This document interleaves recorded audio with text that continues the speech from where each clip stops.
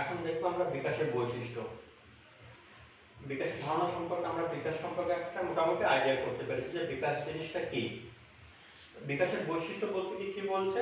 বিকাশের বৈশিষ্ট্যগুলো বলছে, জীবনব্যাপী প্রক্রিয়া এবং নিরবিচ্ছিন্ন প্রক্রিয়া। আমরা বিকাশের যখন ধারণা করছিলাম, তখন সেখানে আমরা জানতে পেরেছি যে বিকাশ একটা জীবনব্যাপী প্রক্রিয়া। জীবনব্যাপী বা নিরবিচ্ছিন্ন প্রক্রিয়া একই কথা। মানে ওই সেটাই, যেটা একটা শিশু ভ্রূণ থেকে শুরু করে তার মৃত্যু পর্যন্ত তার মধ্যে এই সারা জীবনব্যাপী বিকাশ প্রক্রিয়াটা কম বেশি সংগঠিত হতে থাকে। তার জন্য বলা হয়েছে জীবনব্যাপী প্রক্রিয়া এবং নিরবিচ্ছিন্ন প্রক্রিয়া। তারপরে পয়েন্ট কি বলছে ধীর গতি সম্পন্ন এবং স্তর ভিত্তিক ধীর গতি সম্পন্ন কেন? কারণ বিকাশ হঠাৎ করে হয় না। শিশু থেকে প্রথমে যখন সে ভ্রূণ অবস্থায় থাকে তার একরকম বিকাশ হয়, তারপর যখন শিশু অবস্থায় পরিণত হয়, তখন আরেক রকমের বিকাশ হয়। মানে আর এটা স্তর ভিত্তিক, যে ভ্রূণ, শিশু, শৈশব, বাল্যকাল, কৈশোর, বার্ধক্য, এই প্রত্যেকটা স্তরের মধ্যে দিয়ে বিকাশটা সংগঠিত হয়। তার জন্য বলা হয়েছে ধীরগতি সম্পন্ন এবং স্তর ভিত্তিক। অর্থাৎ প্রত্যেকটা স্তরে এক এক রকমের বিকাশ সংগঠিত হয়ে থাকে এবং সেটা কেমন ধীরগতি সম্পন্ন? তার জন্য বলা হয়েছে ধীরগতি সম্পন্ন এবং স্তর ভিত্তিক। তারপর কি বলছে? সামগ্রিক থেকে বিশেষের দিকে ঘটে। বিকাশ সবসময় সামগ্রিক থেকে বিশেষের দিকে ঘটে। কেমন? আমরা একটু বাচ্চাদের একটু লক্ষ্য করে দেখব, যখন একদম দু তিন মাস, চার মাস, পাঁচ মাস এরকম বয়স হয়, তখন সে শিশুটা কোনো একটা কিছু তাকে ধরতে দিলে সে হাত, পা দুটোই ইউজ করে, ঠিক আছে? কিন্তু যখন ধীরে ধীরে সে বড় হতে থাকে, তখন সে পা দুটোকে বাদ দিয়ে দুটো হাত দিয়ে ধরার চেষ্টা করে, যখন আরেকটু বড় হয়, তখন দেখব একটা হাত দিয়ে ধরার চেষ্টা করে। যখন আরেকটু পরিণত হয়, তখন দেখব শুধু আঙুলটাকে কোনো কিছু ধরার জন্য ব্যবহার করছে। তার জন্য কি?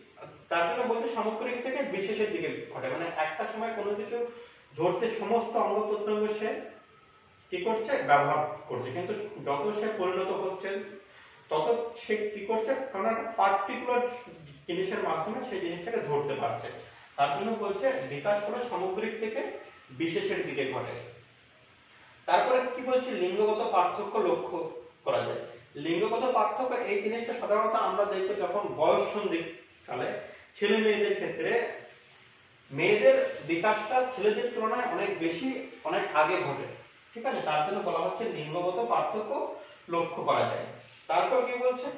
পাঁচ নাম্বার পরিমাণগত এবং গুণগত পরিবর্তন লক্ষ্য করা যায় গুণগত পরিবর্তনটা আমরা সংজ্ঞা করতে গিয়ে দেখেছি যে গুণগত পরিবর্তন বলছে মানসিক বিকাশ, বৌদ্ধিক বিকাশ, ভাষাগত বিকাশ, প্রাথমিক বিকাশ। এই বিকাশগুলোর যে গুণগত পরিবর্তন, সেটাই লক্ষ্য করা যায়। আর পরিমাণগত দৈহিক দৈহিক যে পরিবর্তনটা, সেটা সাধারণত পরিমাণগত হয়। কেমন একটা শিশু ভ্রূণ অবস্থায় একটা নির্দিষ্ট নির্দিষ্ট দৈর্ঘ্যের মধ্যে থাকে। তারপর যখন সে জন্ম গ্রহণ করে তখন দেখব সাধারণত আঠারো থেকে কুড়ি ইঞ্চি এর মধ্যে সে এর মধ্যে তার আহ, দৈর্ঘ্যটা থাকে। যত আস্তে আস্তে ধীরে ধীরে বড় হয় তখন সেটা বাড়তে থাকে। ঠিক আছে? এই জন্য বলছে এটা পরিমাণগত এবং গুণগত পরিবর্তন লক্ষ্য করা যায়।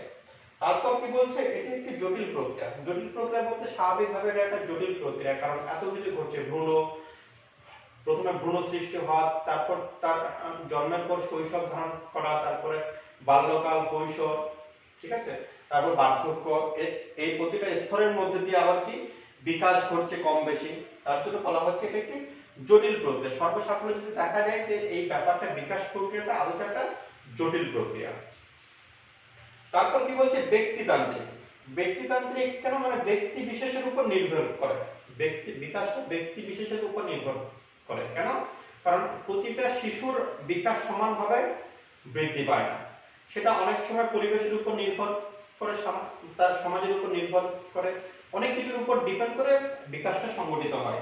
তার জন্য কোনো, আমরা দেখব কোনো শিশুর বিকাশ দ্রুত ঘটছে, আবার কোনো শিশুর বিকাশটা অনেকটা অনেকটা ম্যাচিওর এজে গিয়ে তারপরে তার বিকাশটা সংগঠিত হয়।